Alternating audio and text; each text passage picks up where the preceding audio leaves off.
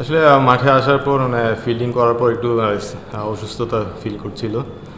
হয়তো গ্যাস থেকে একটা প্রবলেম ক্রিয়েট হয়েছে।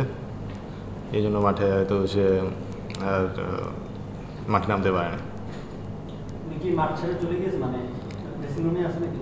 না অসুস্থতা ফিল করার পর হোটেলে ব্যাক করছে।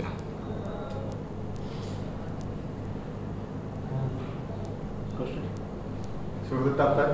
আপনি তো খুব ভালো খেলছিলেন।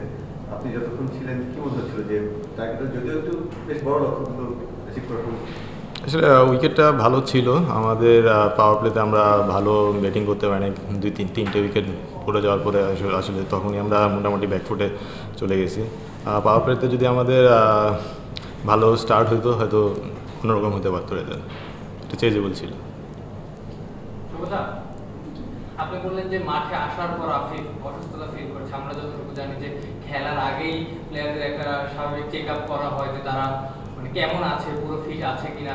আগে থেকে এমন কোনো সমস্যা কি ছিল? না সেরকম কিছু ছিল না। ফিজিওর সাথে কনসার্ন ছিল। মাঠে খেলার মতো অবস্থা ছিল। বাট মাঠে ফিল্ডিং করার পর আরও বেশি প্রবলেমটা ক্রিয়েট হয়েছে।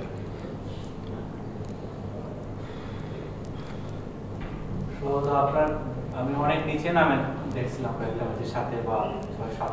আরও মিডিল অর্ডারে ওইভাবে তেমন কেউ পারফর্ম করছেন না। মানে ব্যাটিং পজিশনটা আপনি আজকে একটু উপরে উঠে আসলে প্রত্যেকটা টিমেরই গেম প্ল্যান থাকে আমার এক একজনের এক একটা রোল থাকে। তো আমার রোলটাও ছিল সেরকম টিমের লাস্টের দিকে আমি যাতে ওই ফিনিশিংয়ের ইয়েটা আমি থাকি। সেই হিসেবে আমাকে ব্যাটিং অর্ডারটা ওই পজিশনে আর কি। টুর্নামেন্টের এই অবস্থায় আসলে আপনার প্লে যাওয়ার আশা বা কি মনে করছেন যে আসলে আজকের ম্যাচটা খুব ইম্পর্টেন্ট ছিল। এখন পাঁচটা ম্যাচ পাঁচটা ম্যাচের মধ্যে আমাদের চারটা ম্যাচ উইন করতে হবে যদি যেতে হয়। তো এটা আমার যেটা মনে হয় খুব টাফ সিচুয়েশন এখন। তবে আমি এখনও আশা চাচ্ছি না। দেখা যাক আমরা যদি ভালো খেলতে পারি হয়তো যেতেও পারি। সম্ভবত এই মাঠে আমরা ঢাকা প্রথম অংশে দেখেছিলাম খুলনা এগেনস্টে আপনারা দুইশো অনেক বেশ দুইশোর উপরে রান করে জিতলেন উসমান খান এবং ম্যাক্স একটা। ভালো টেস্ট ছিল কিন্তু থ্রু আউট দ্য টুর্নামেন্ট আপনাদের ব্যাটিংটা মনে হচ্ছে যে ভালো করছে মানে একটা টিম এত বড় একটা রান করতে পারে কিন্তু অন্য ম্যাচগুলো স্ট্রাগল করছে হচ্ছে। আসলে আমরা- কম্বিনেশনটা খুঁজে পাচ্ছেন না নাকি? আসলে আমরা টিম ওয়াইজ ভালো খেলতে পারছি না।